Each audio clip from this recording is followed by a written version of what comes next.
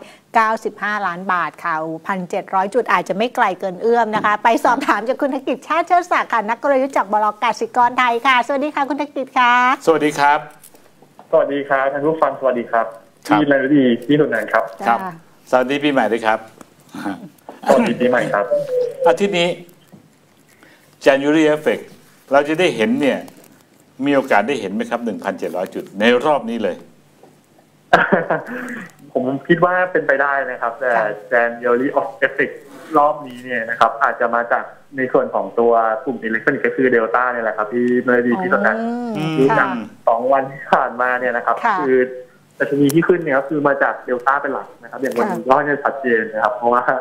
ภาพของบรรยากาศทั้งต่างประเทศแล้วก็ตัวราคา commodity เนี่ยนะครับพักฐานลงนะครับแต่เดลต้าเป็นตัวดันตลาดครับอืมขับเคลื่อนดัชนีช่วงนี้เลยนะคะ อืม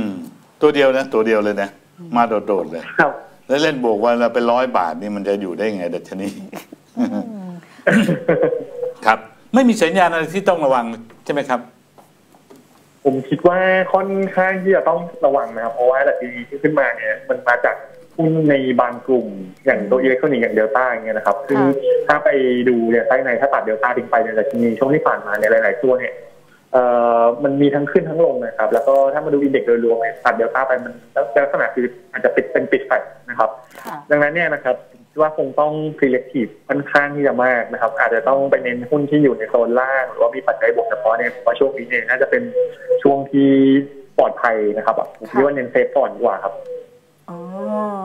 เพราะว่าในการปรับขึ้นของเดลต้าเนี่ยเราก็ไม่รู้ว่าเขาจะมีลดความร้อนแรงแบบนี้ลงเมื่อไหร่ด้วยใช่ไหมคะคุณธกิจคะ ผมคิดว่าใช่เลยครับ เพราะว่าจริงๆไปมาในเดลต้าเกือบจะใกล้แตะพันแล้วนะ ตอนนี้ประมาณ900ขึ้นมา970ค่ะ72แล้วนะฮะผมคิดว่าเอ่ออาจจะต้องระมัดระวังพอสมควรในส่วนของตัวเดลต้าครับ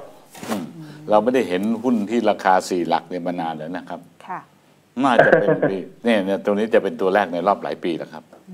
นี่บางคนบอกมองมองไปถึง split แล้วนะครับ คราวนี้โดยภาพรวมภาพรวมเนี่ยโดยภาพรวมเราไม่พูดถึงเดลต้าแล้วเป็นหุ้นพิเศษเนี่ย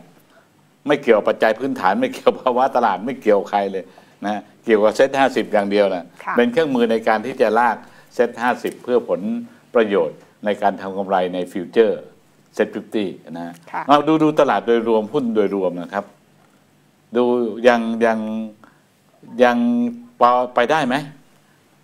ผมลงผมามดูคิดว่าเอ่ออาจจะพอไปได้ในบาง sector ครับพี่สุนันท์เพราะว่าครับถ้ามาดูเนี่ยจริง ๆ มันก็มีธีมหุ้นที่น่าสนใจนะครับ แล้วมีปัจจัยบวกเฉพาะนะครับอย่างวันนี้เนี่ยชัดเจนเลยก็คืออย่างกลุ่มโรงไฟฟ้านะครับค่ะครับหุ้นในกลุ่มแอนท c คอมม o ดิตี้อย่างตัว retail oil พวกปั๊มน้ำมันเนี่ยอันนี้เนี่ยผมคิดว่ามีปัจจัยบวกเฉพาะแล้วก็หนุนราคาหุ้นนะครับ เราจะเห็นได้ว่าวันนี้เนี่ยเช้านี้ทั้งดีกิน GTSC นะครับอืมแล้วก็พวกหุ้นในคอมมิตี้หลายๆตัวเนี่ยปรับขึ้นนะครับ เพราะว่าในส่วนของเมื่อคืนนี้เนี่ยเราเห็นราคาก๊าซ ธรรมชาติเนี่ยนะครับ อย่างตัวในเน็ตเนี่ยลงไปเกือบ 11%นะครับ ซึ่งตรงนี้เนี่ยต้นทุนในส่วนของไฟฟ้า FPT เนี่ยนะครับอาจจะได้ประโยชน์นะครับเพราะว่าต้นทุนลดลงแถมในฝั่งของเงินบาทก็ยังแกว่งแกว่งตัวแข็งค่าในแถว34 บาทนะครับค่ะค่า FT ที่มีการเคาะออกมาแล้วเนี่ย อันนี้ชัดเจนเลยผมคิดว่าโรงไฟฟ้าเนี่ยในยามเนี่ยนะครับค่ะราคาที่ย่อลงมาหรือว่าถ้าขาดลงมาเนี่ยเราค่อนข้างจะมองบวกครับเป็นจังหวะที่จะสะสม รวมถึงกลุ่มอื่นๆนะครับ ผมคิดว่าภาพของ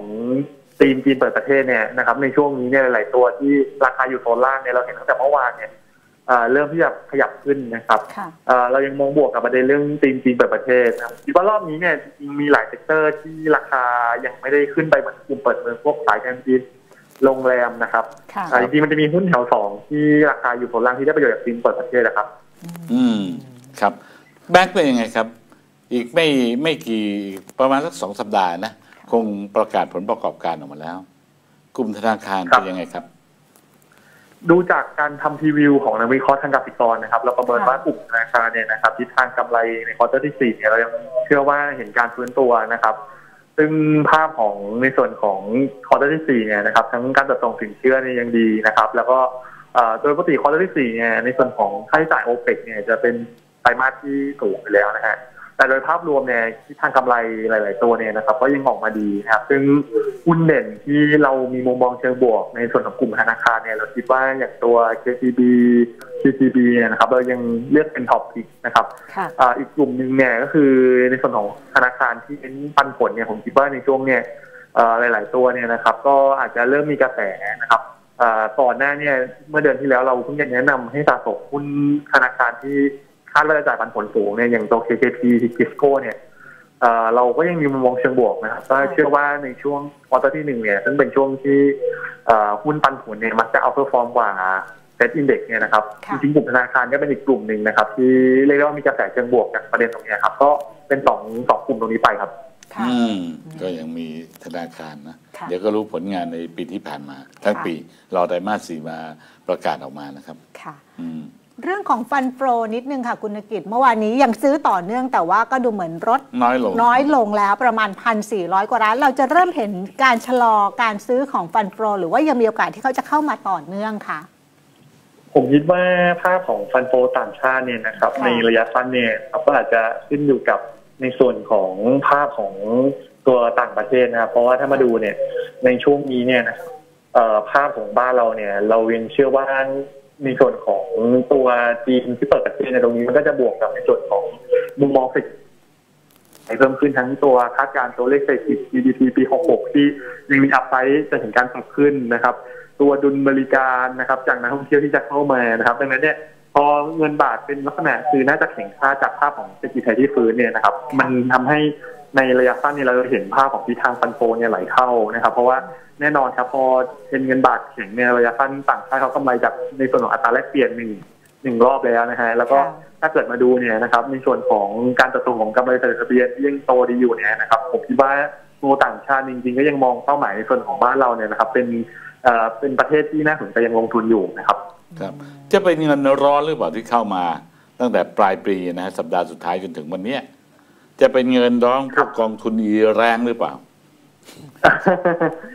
ก็ในในส่วนตรงนี้นะครับ ผมคิดว่าอาจจะต้องติดตามนะครับค่ะก็ครับในระยะสั้นเนี่ย ผมคิดว่าการจริงไว้ในส่วนของค่าเงินเนี่ยนะครับอ่าค่าของต่างชาติเนี่ยนะครับ ก็มีโอกาสเหมือนกันเพราะว่าถ้าภาพของทิศทางอย่างที่เมื่อกี้เกรินไปว่าถ้าเงินบาทเราตลาดเชื่อว่าจะแข็งต่อเนี่ยผมคิดว่าระยะสั้นเนี่ยนะครับการเข้ามาจริงไว้ในส่วนของประเด็นอ่าในส่วนของเข้ามาลงทุนระยะสั้นของต่างชาติเนี่ยน่าจะยังมีต่อครับอืม ครับอ่ายังเป็นอีกความหวังนะค่ะถ้าซื้อต่อเนื่องเหมือนปีที่แล้วก็ดีแหละครับค่ะยังมีโอกาสไปได้ค่ะอ่าค่ะคุณนกิจคะตอนนี้เริ่มมีแรงพูดกันถึงแรงขายของกองทุน LGF ที่ครบกำหนดตั้งแต่ปี 2560อะนะคะ ที่จะครบกำหนดในปีนี้เนี่ยนะคะ ตรงนี้จะกดดันตลาดมากน้อยแค่ไหนคะ ประเมินแรงขายของกองทุนเนี่ยมากน้อยแค่ไหนด้วยค่ะ ครับผมคิดว่าในส่วนของแรงขายของ LCF เนี่ยนะครับค่ะอ่า ในปีนี้เดือนมกราก็น่าจะยังมีนะครับ แต่เม็ดเงินเนี่ยอาจจะไม่เยอะนะครับค่ะอ่าเราคิดว่าน่าจะไม่เกิน 8,000 ล้านนะครับ เราคิดว่าดูจากอืมในช่วง 7 ปีที่แล้วเนี่ยนะครับค่ะที่นักลงทุนเนี่ยมีการซื้อ LCF นะครับ แล้วก็จะครบกำหนดในปีต้นปีเนี่ยนะครับคือเดือนมกราเนี่ยนะครับต้นทุนส่วนใหญ่เขาจะอยู่บริเวณพันห้าร้อยเจ็ดสิบจนถึงประมาณพันเจ็ดต้นๆนะครับค่ะเอ่อแรงขายเนี่ยจะมีก็คือถ้าเกิดชนีเนี่ยขึ้นไปเทียบใกล้ๆประมาณพันเจ็ดเนี่ยผมคิดว่าอาจจะเริ่มเห็นอ่า นักลงทุนเนี่ยที่เขามีหุ้นอยู่แล้วเขาเริ่มที่จะเห็นกำไร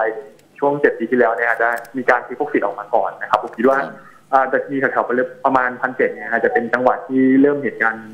ขายจากในส่วนของกองทุนนะครับ ครับเออก็ไม่ได้ไม่ไม่ไม่ค่อยได้ขึ้นเท่าไหร่นะอย่างที่ค่ะนักวิเคราะห์บอกว่า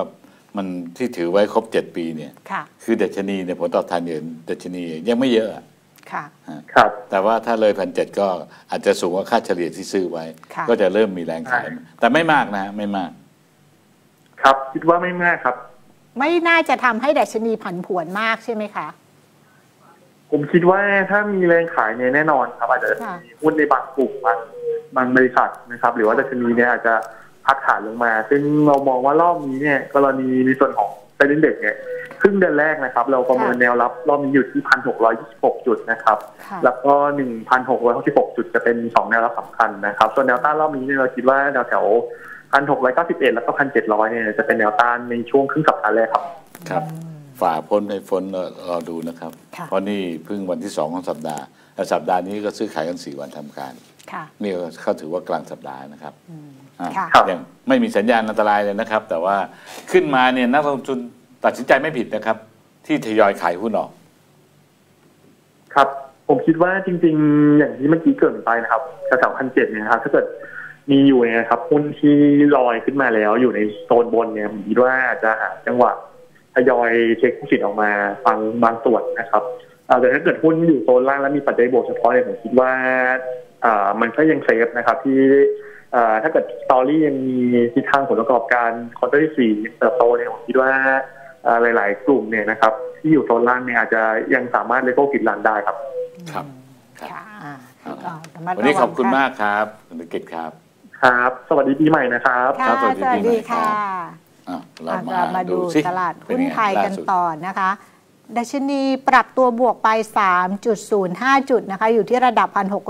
1,682.02 จุด มูลค่าการซื้อขาย 12,848 ล้านบาทค่ะ มาดู 5 อันดับหลักทรัพย์ที่มีมูลค่าการซื้อขายสูงสุดนะคะ อันดับที่ 1 ยังเป็นเดลต้าบวกต่ออีก 50 บาทนะคะ อยู่ที่ 980 บาทค่ะ วันนี้เราอาจจะได้เห็นพันหรือเปล่าถ้าหากว่าบวกขึ้นเพราะเมื่อวานนี้ก็บวกไป 100 บาทนะคะรอบก็มีเดีโอยวกาสเราก็บอกว่าไม่ได้เทียร์นะครับค่ะคือกระแสแนวแรงโน้มถ่วงมันจะวิ่งไปที่ทะตัลุวหเดลนึ่งต้าพันได้ ใช่ค่ะแต่ว่าก็เตือนนะค่ะแมงเม่าช้าเข้าผิดจังหวะ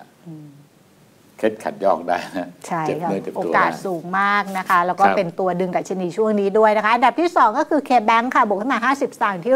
149 บาท 50 อันดับที่ 3สพนะคะ ลงไป 2 บาท 50 อยู่ที่ 172 บาท 50 อันดับที่ 4 CPO ค่ะ ไม่เปลี่ยนแปลง 69 บาท 50 อันดับที่ 5 ธนาคารกรุงเทพค่ะ บวกขึ้นมา 1 บาทอยู่ที่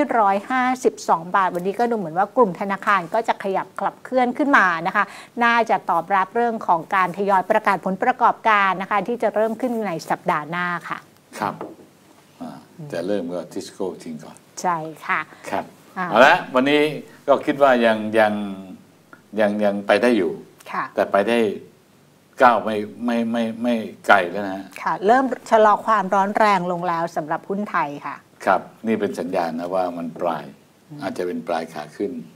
นั้นก็ระหว่างทางที่จะไปเจ็ดร้อยเราก็โดดลดลงลดกลางทางดีกว่าใช่ ไม่ต้องค่ะไปรอถึงไปขายพันเจ็ดแล้วนะครับ ค่ะ เพราะว่าพันเจ็ดร้อยอาจจุดจะไม่ถึงเนี่ยก็ได้ใช่ครับแต่ถ้าถึงมันก็มีปัจจัยเสี่ยงรออยู่ที่คุณธกิจบอกนะคะครับ LTF นะคะเขาก็รอขายช่วงแถวแถวพันเอยู่นะคะ มันก็อาจจะสร้างความผันผวนได้ค่ะเอาละค่ะวันนี้หมดเวลาแล้วนะคะสำหรับรายการคุยคุยหุ้นเราทั้งสองคนรวมถึงทีมงานลาไปก่อนนะคะ สวัสดีค่ะ สวัสดีครับ